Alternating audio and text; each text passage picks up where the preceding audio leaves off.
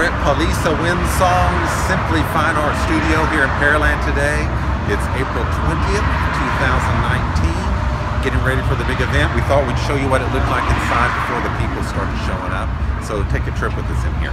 Before the masses started showing up. That's right. Son, we're going to go in through this way.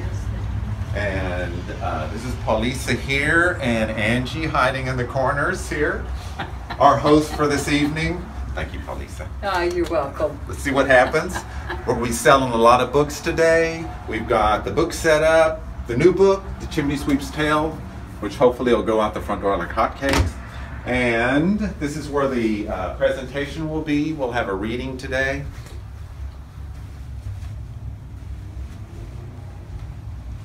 We've got pretty much all the paintings located in this room. It's all inclusive. Uh, the, the attendants will be sitting in these chairs while we're reading and presenting the book. Here's some of the paintings today. Again, if you see anything on the wall, if it's here after the show, give me a call or uh, message me.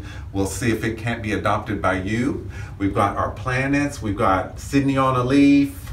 Uh, got hummingbirds, a little Easter related image here, a chick for all the peeps in Pearland.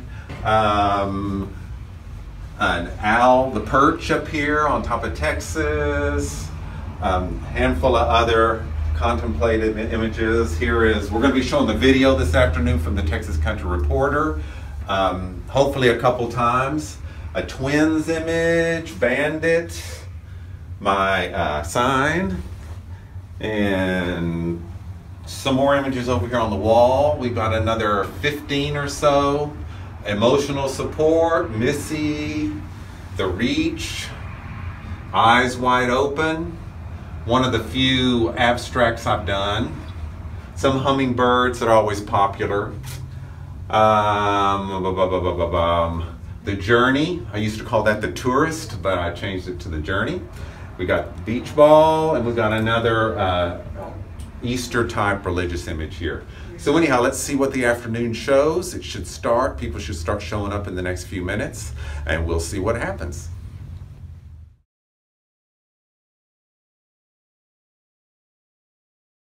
I mean, this was our third book, and this was, uh, he had written this story. This is what I told Don when approached with this, his new story. But I'm the writer, you're the painter. I have to admit, I was a little surprised. Then I read the story. Wow. What relevance, what feeling. The story was something very special. We had not planned to do another book, but I felt this was a story that had to be told. You will be holding the results in your hands. Don felt a different style of art was needed for this project, so we approached longtime friend and fellow artist Judith Gonzalez. She graciously accepted. Just look at the cover. Beautiful. You've seen the original of that. It's awesome. With a few of my suggestions and a little polishing, the book was ready for the publisher. Take time to revisit the story, for it is ripe with symbols and metaphor. True lasting art speaks to the human condition. It is timeless. So is the chimney sweep's tale. Cherish it, remember it, share it with those you love. I'm very proud of my brother's accomplishments. This is just another. And by the way, there are angels here on earth that Don and I have met more than our share. And without their help, this book would never have been made. Thank you, angels. You know who you are. We get support from everywhere. And thank you, our friends, for without your support and encouragement, these projects would never happen. Thank you. Here's of acorns and smile down in groups of recognizable familiarity. It was a beautiful day. The warmth from the sun brightened the midday sky. Swallows soared high above. While looking into the upper branches of the tree, a distant feeling of comfort and belonging came over me.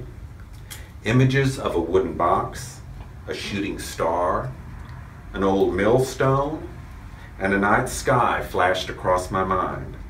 I could not help but be transported back to that special summer, my 10th summer, when things began to change.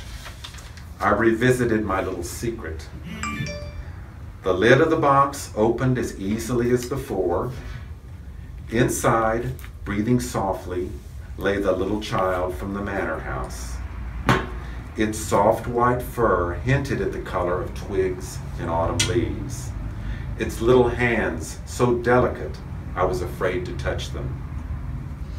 I did anyway, causing both its eyes to partially open, revealing light blue irises speckled with flecks of forest green. Its small lips arched upward in that way unique to infants, revealing a row of tiny white teeth. I would never tell anyone my little secret.